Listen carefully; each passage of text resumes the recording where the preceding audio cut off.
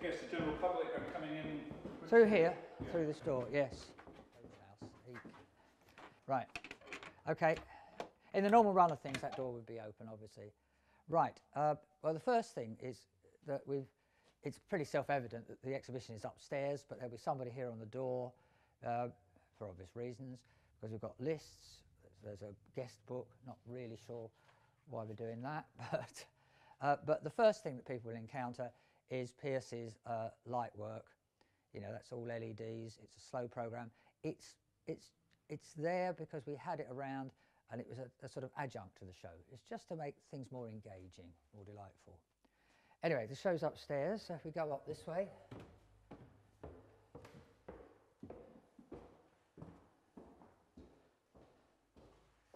And one of the first pieces in the show is a painting called The Field Next to Tesco's, which is going to be built on, number four.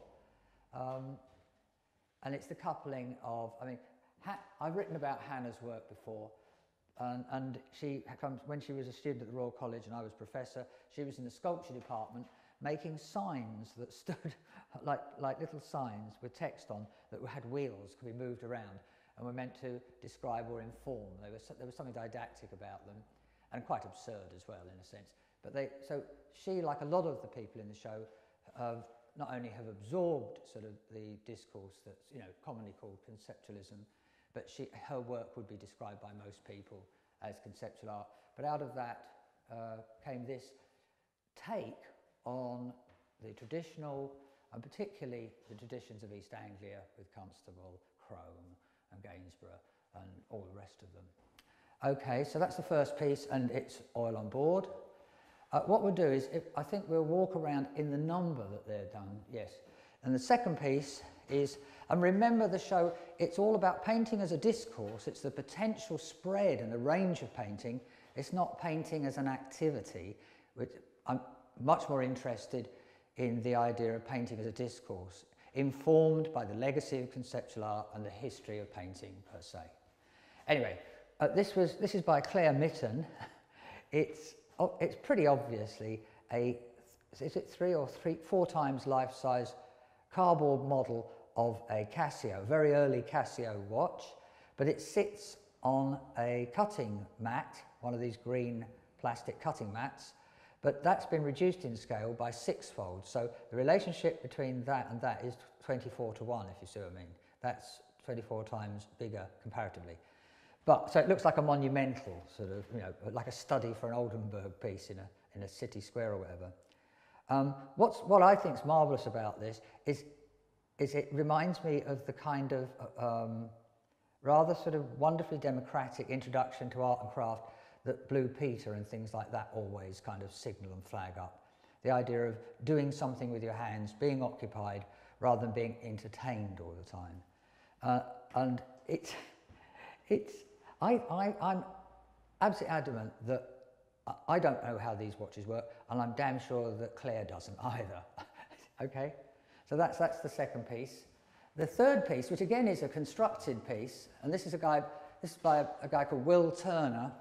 Now, Will was in the painting school probably about when I first got there, over 20 years ago. Um, and I have, some, I have some pieces of his work. All of this is done with Chromolux card.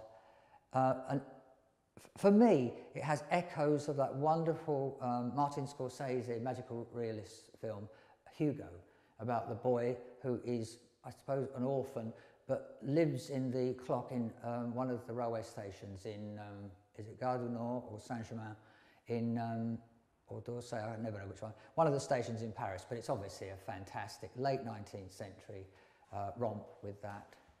Actually, we might as well go around this room whilst we're in it. Um, and this is a piece by a guy called James Wright. Uh, when, at first glance, it's called The Confessor. I'm not going to get into the sort of why people call things things because I can't, I, can't, I can't actually explain or justify other people's actions, and nor am I going to. But the thing that fascinates me about this is that when you look at the right-hand part, I mean, it's pretty self-evident that the left-hand panel is self-signifying, yeah? It's, it's sort of non-referential, it's, it's non-figurative, yeah? But the piece on the right is clearly figurative. And I don't see that as, as a difference. I see it's just a matter of range.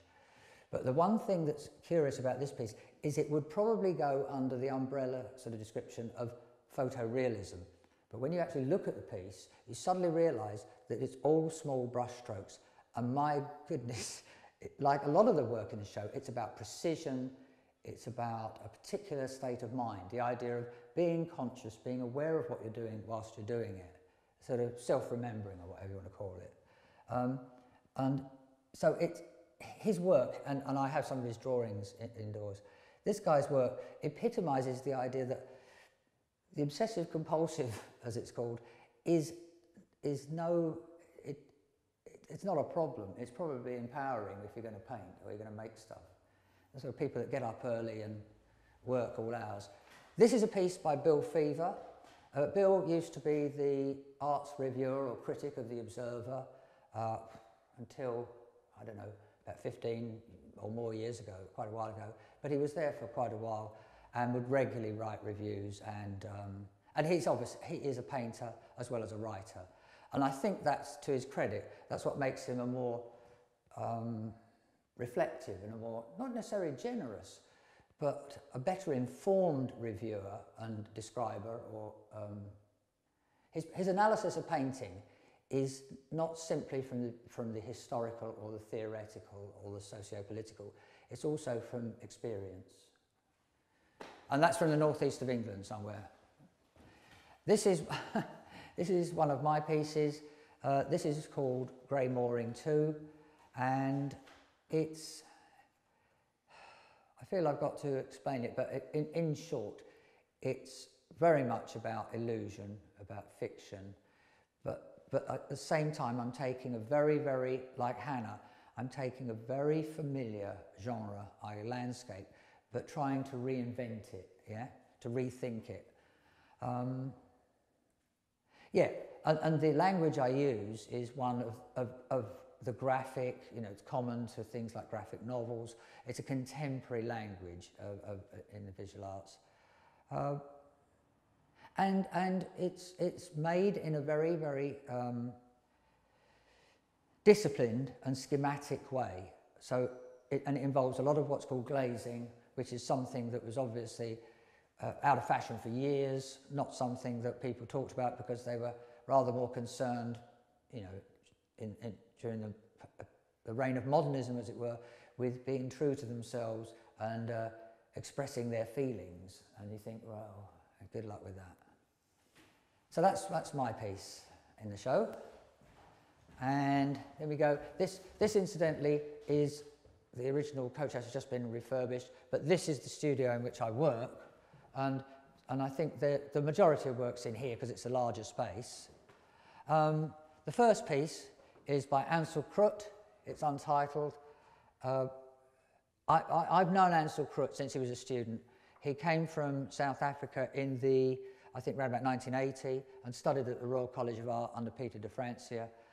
Um, this, this is one of the earliest pieces of his work that's currently uh, being widely received uh, and, and showing a hell of a lot of work all over the world. Uh, his I think his work is magnificent. It's a curious kind of, it's got a sense of the contemporary. Uh, it would be, sometimes to use the word cartoon is to sort of um, somehow dismiss a, a work or, um, I don't know, undermine or, yes, to dismiss. But in actual fact, as I say, same as in my work, the idea of the graphic contemporary, it's the, it's the lingua franca. It's, it's how we see the world, how the world is described to us, particularly in the graphic novel. Okay, and this is a piece by a man called John Strutton, and uh, this was, John ran a, a performance band, which is the antithesis of so-called performance art.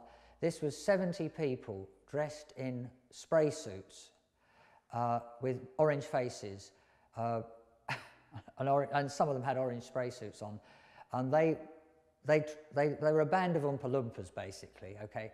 And half of them had acoustic guitars, some of which were painted like this, all painted by John, I hasten to add, and uh, in enamels. And the other half, or 40 of them, will be playing kazoos. And they, their repertoire was wonderful. It was the antithesis of kind of touchy-feely, sort of precious, sort of um, balletic performance art. They, they would all appear, uh, you know, at, at, various events and venues, sometimes unannounced, because the, the idea of intervention was really exciting.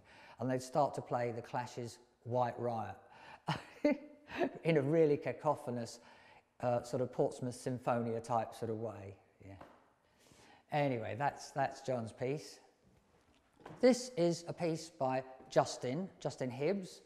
Um, now, uh, Justin's work, his, his work is, this is pretty indicative, but what he does is, in the, in the case here, he's found a catalogue of, uh, I think they were fabric samples, but maybe you can speak to him later about that. And this is wonderful because it's about the aging of a piece of paper. This piece of paper is at least 100, maybe 120 years old, right? The piece of work on it is probably 20 days old. Um, and it's about becoming uh, sensitive to the nuance of things. But of course, the other thing, the other reason that I'm really excited to have it in the show is because it's not about a style, this show. It's about a set of values. It's about the idea that things have changed. It's not conceptual art versus painting. Painting has absorbed, as it always will, just about everything that kind of, what should we say, comes in its path. It was sort of consume it and embrace it. And, and this is about embracing the idea of ideas, as it were. And of course, there's lots of art historical quotes. It's definitely not the blue of Yves Klein. It's a totally different, I mean, his was mixed, allegedly. Uh, but there's something pure and still. And this is pretty much broadly what I re refer to not as abstract, but as non-referential art, okay? It, it is self-signifying. It's, it's not about, you know, the sky or the sea or Matisse's blue and all that, although art historically there are echoes of that. But it's about being its own object. Take it or leave, as I say. This piece is a painting by Julian Perry, and uh, Julian's work deals in an, a, a wonderfully unsensational way with something profoundly important. He lives part of the year, has a house in Dunwich, and anybody who knows anything about East Coast or coastal erosion knows that Dunwich was a very, very large place with, I don't know, half a dozen churches, 50 pubs, and God knows how many houses in the 19th century. Well, all that was left was half a graveyard and you know, one pub eventually now, and, and one row of cottages. And so this is very much, it, uh, it's something that has been seen. That's what's marvellous about this. Uh, but then it's contextualised in this uh, thematic and abstract space. So it's called, I think it's called Studio Tree, yeah, because it's observed but then rethought and reworked in the studio. Anyway, that's that, and, and that's uh, Julian's piece. Julian has co-curated the show with me. Uh, last year it was John Stark, uh, this year it's Julian. And both of them have connections with East Anglia, and both of them are painters. And right, this piece is called Bread of Heaven. It's by Sue Williams A'Court, and I'm not sure whether you can get a shot as close to that, but it looks, I mean, the, the, it's a common prayer book, probably around about the end of the 19th century.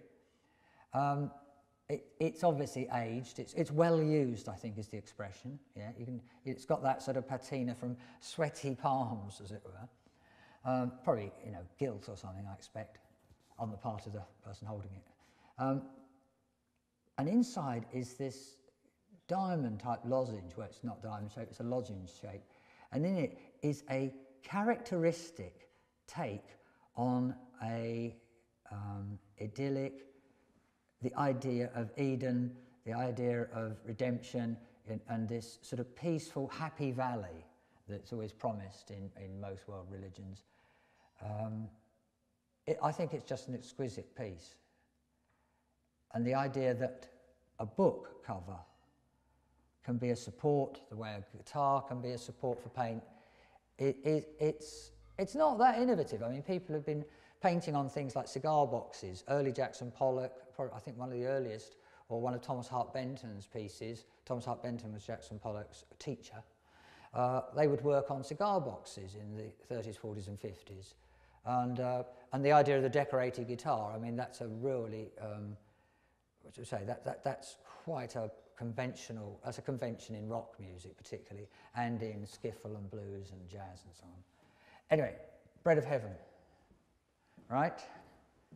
The next piece, ha, is, is this little beauty. This, it's, it's kind of sort of, if I tell you the title, it's, it's, it's by Hester Finch, right? And it has the title, and this is what's rather like Hannah Brown's rather sort of descriptive title as a statement of affairs, right? Rather than a, you know, the field next to Tesco's, which is going to be built on. I think that's the title of Hannah's number four. This has this wonderful sort of, uh, she, she's used a title that would be more appropriate to a kind of um, uh, an award at the Academy, Royal Academy Schools in the 1920s. It's called The Portrait of a Lady, brackets, red, grey and blue or something, purple, purple, grey and blue, close brackets. And you think, it, it's, that's not clearly, that's, you know, this is messing with your head, as they say, right? This is, and, and that's exactly what's problematic about it. It's a really, really curious, absurd, but exquisitely executed uh, um, conundrum. It's, you know, the, the idea of the, the, the, I mean, life drawing, it's, it's, I mean, again, that's another documentary, but basically, um, the trying to paint from life these days in the life room context or something that looks more like a domestic interior is problematic. It's not only is it well trodden like landscape, the idea of reinventing or rethinking it creates more of a challenge than expressing yourself, which I think is a cop out. Okay, right. Next piece is and now, now these are. Uh, if you look around the room, just if you do a pan of the room, you'll see there's a pair of pictures, another pair of pictures, a constructed piece, and this, this cluster of three. And the thing about these three, apart from being similar sizes, etc., this is by Lu Louisa Chambers, and her work, the, the thing that really that I find enchanting is the fact that this is playful. There is a joyousness, there's something celebratory about her work. And the idea of uh, celebration in painting or celebration art generally is tends to be um, dismissed. You know, play is for children, play is childlike. Well, that's how you may see it, that's not how Louisa sees it, that's not how I see it. And this is by a piece by a woman called Pippa Gatti. Pippa lives up in the uh, is it Skye? Somewhere in the Inner Hebrides, anyway. Um, she has a craft background. I think she was a gilder. She's amazingly um, gifted. And this painting, if it's anything, is a riff on those wonderful tiny Goyas of those abject figures in caves lost in some sort of psychic limbo. And here, whether they're figures, what it is, it's at the edge of figuration. Everything is about to become. Everything, it's transformative in terms of imagination as well as imagery. This little piece is by Sally, Sally Crowley, and it's, I've, it's, it's a piece of lava, a study of a piece of lava, ostensibly, but the piece of lava, it's, I think it is an Icelandic word, and it's A, or capital A, apostrophe, small a, and then there's a kind of um, circumflex or some, I don't know, something over the top. I don't know what the hell that's called. I can't find it on my computer, so I couldn't put it on the list properly. So it's A apostrophe A, A lava, not an lava or a lava, a lava.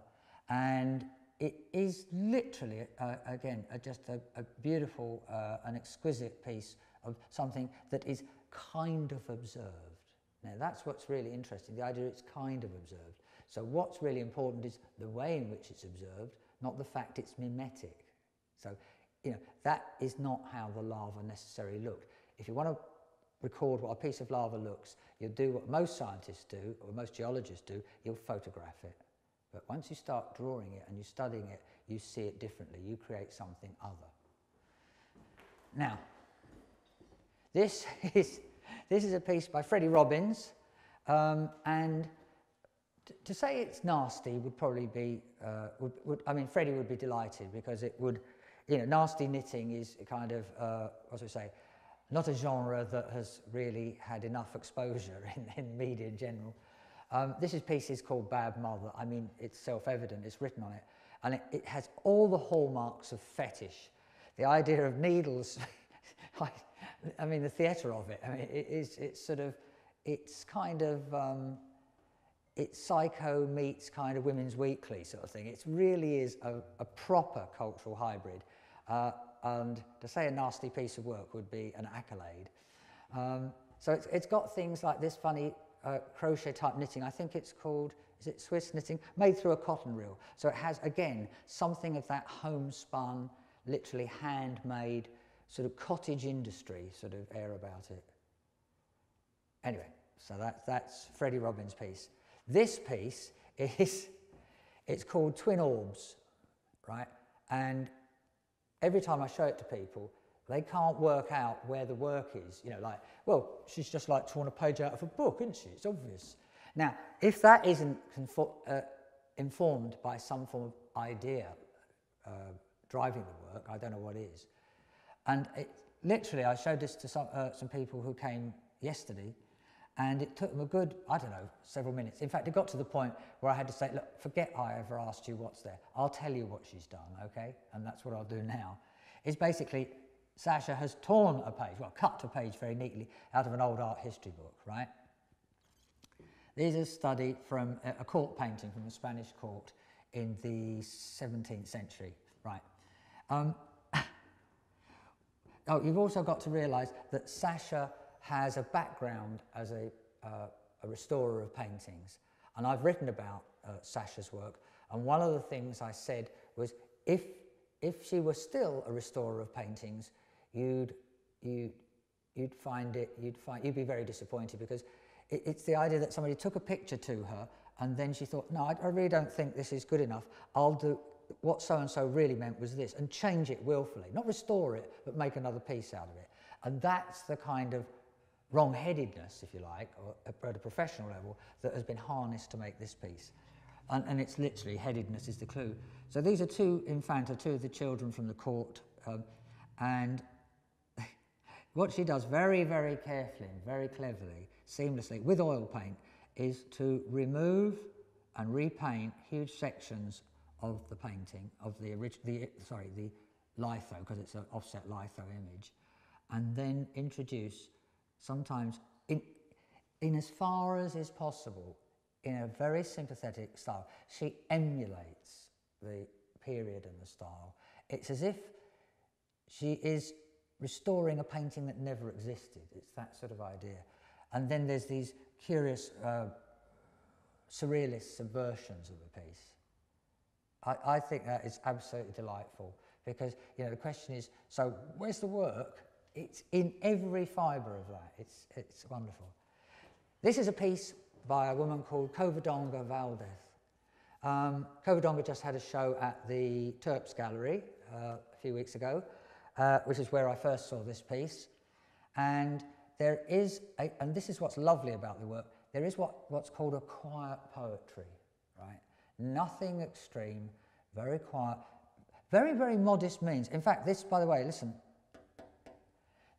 it's painted on aluminium uh, because the support these days for painting, I mean, it's not just canvas, it's not just linen, it's not just bits of board, but as I say, it can, you know, a lot of people are using copper, um, aluminium and so on as a support. Right, and, and uses aluminium.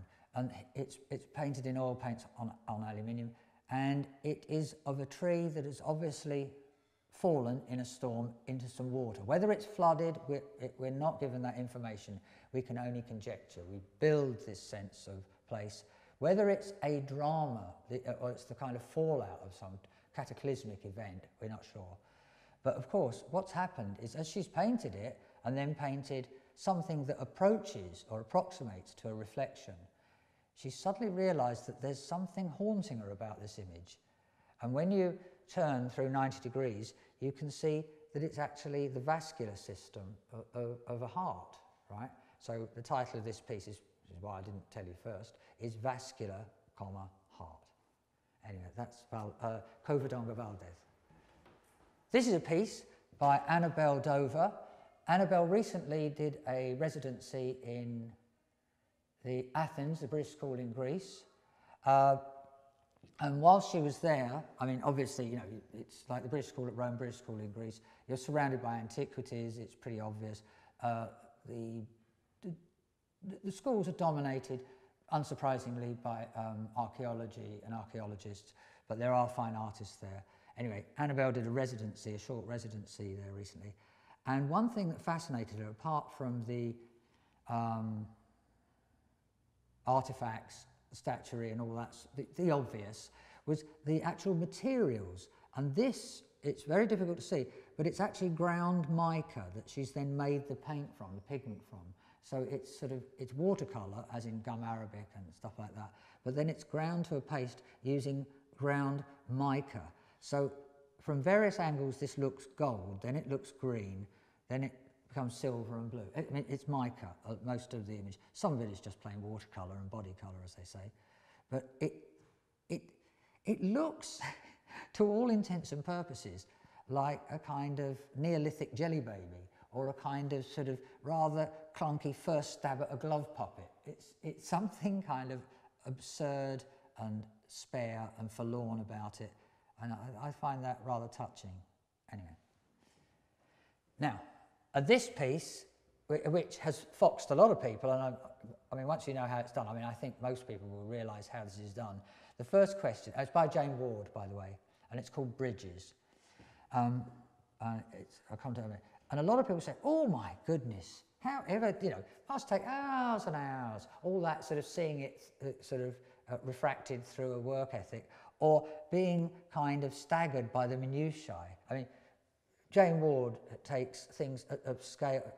She, she makes cornfields out of thousands, I mean, literally tens of thousands of street lamps so, uh, that blow in the wind, as it were. There is something magically transformative about her work. The thing that is more matter of fact is this is a, it becomes no surprise to a lot of people, it's a computer generated uh, piece. It's, uh, it's a, a inkjet print on, on uh, treated cotton, but the thing that's really, really exciting is the idea of every, every so often there, there is a, it's, it's as if there's a virus in it sort of thing, literally, in, in our looking. Because just as you're about to focus on something, and I find it difficult focusing on this because of the minutiae, the miasma, uh, is it looks as if there's something is eroded.